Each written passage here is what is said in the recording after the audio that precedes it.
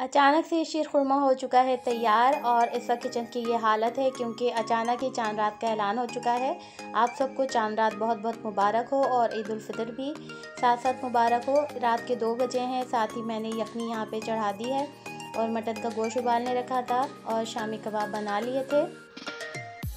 बिसमीम अस्सलाम कैसे हैं तमाम दोस्त? उम्मीद करती हूँ सब खैरियत से होंगे। अल्लाह ताला हम सबको अपने ज़मान में रखें। आमीन सुम आमीन। और जी, ये है सुबह फजर का वक्त है। पौने छः इस वक्त हो रहे हैं और आज है यकम शवाल यानी कि ईदालफ़ितर फितर की सुबह है ये। तो अल्लाह ताला हज़ारों ईदें देखना नसीब फरमाएँ हम सबको और खैर वाली हों।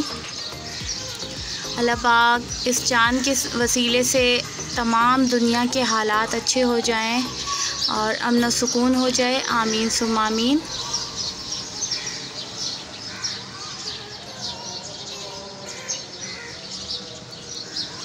और यहाँ मैं बच्चों के कपड़े प्रेस कर रही हूँ। यह है रामीन का ड्रेस, जो कि बहुत पहले से मैंने लेके रखा हुआ था, क्योंकि रमज़ानों में मैं बाज़ार वगैरह नहीं जाती हूँ। उससे पहले जो कोशिश होती है मेरी कि तमाम चीज़ें रेडी कर लूँ, ताकि बाज़ारों में ना जाना पड़े। और अब तो करोना चल रहा है तो उसकी वजह से और ज़्यादा टेंशन वगैरह है। लास्ट में देखें, बिल्कुल लॉकडाउन हो गया तो जो बहुत से लोगों की तैयारियाँ रह गई हैं। मैं खैर बहुत ज़्यादा नहीं करती तैयारी, और मेरा अलहमदिल्ला बस अच्छा हो गया सब। और ये है जी रुमैसा की ड्रेस, ये भी मैंने बहुत पहले से लेके रखी हुई थी। और ये ड्रेस है जी खाड़ी की और रामीन की, जे डॉट की थी। और आप लोग बताइएगा ईद का दिन कैसा गुज़रा? मेरा बहुत ज़्यादा बिज़ी गुज़रा, क्योंकि जब से चाँद रात का ऐलान हुआ था, मैं एक मिनट के लिए नहीं बैठी। मुसलसल काम कर रही थी और यह है जी हस्बैंड की ड्रेस, इसे मैं प्रेस करूँगी क्योंकि नमाज़ का टाइम हो रहा है। और अब इस वक्त हस्बैंड आ चुके हैं नमाज़ पढ़ के ईदालफ़ितर की तो अब हम नाश्ता कर रहे हैं। और बिल्कुल रूटीन एकदम से चेंज हो जाता है रमज़ान के बाद।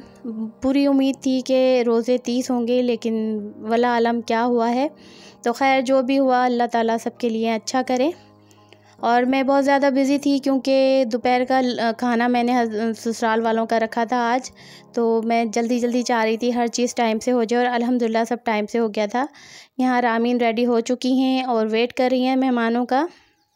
खाने में मैंने बीफ़ यखनी पुलाव बनाया था, हैदराबादी बीफ़ यखनी पुलाव और साथ ही साथ शामी कबाब थे, मटन कढ़ाई थी, सलाद, रायता और शीरखुरमा खाना सबको बहुत पसंद आया और सबने मिलके खाया, बहुत अच्छा लगा।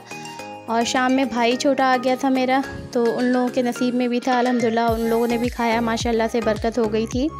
तो आप लोग ज़रूर बताइएगा, आपका ईद का दिन कैसा गुज़रा? मेरा बहुत बिज़ी गुज़रा था।